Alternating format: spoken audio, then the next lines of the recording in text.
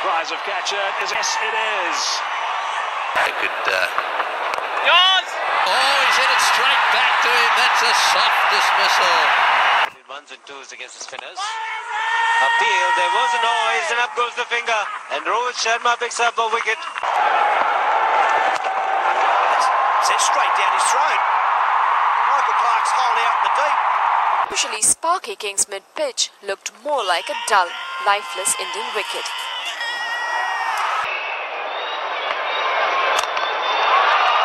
Gone over the top. Will it be taken? It's a brilliant catch. Superbly taken by Gautam Gambhir, bringing Chris Gayle's innings to an end. Yep, he was moving. He was traveling. Gambhir, he was at full pelt. That's just not an easy catch because he had to dive and uh, wrap his arms around it. Robin Singh, their fielding coach, will be very pleased with that effort. Rohit Sharma to continue. Oh, that's the end of Sarwan. Walk straight past it.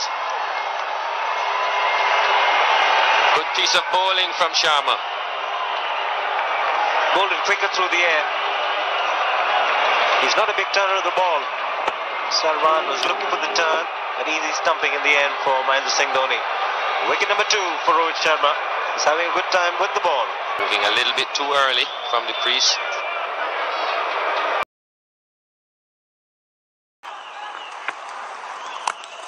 This could be dropped. We'll have a look in the replay. Well, a bottom edge. I think he just hit it into the ground. We'll just take another look. Oh, no, you're right. That's a big shot. Has he got enough? Oh!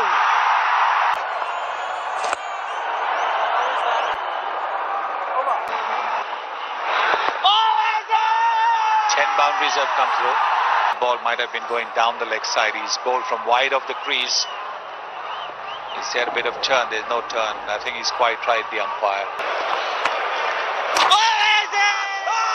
Doing a bit too much.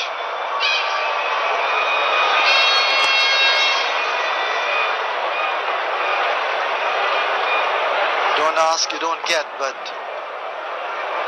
even as it looks fairly adjacent there, the angle of the delivery seemed to be taking it down the leg side.